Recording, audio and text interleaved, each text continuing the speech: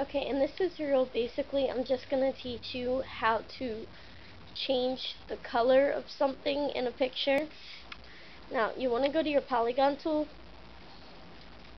and select around the area that you want the color to be changed in.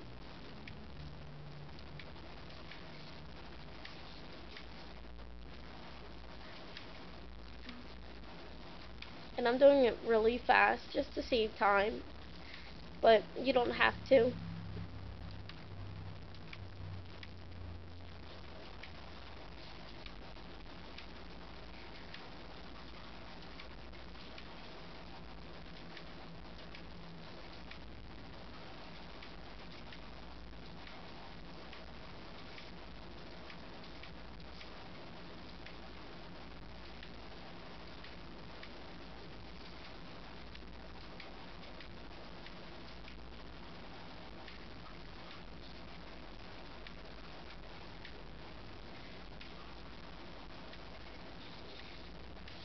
Okay, now that you have it selected, you just basically want to go up to adjust,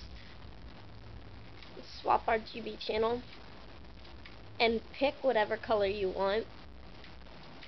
I'm going to choose pink because that's what looks best with this picture. And then when you're done, that's what it'll look like if you if it's a black and white picture. And I got this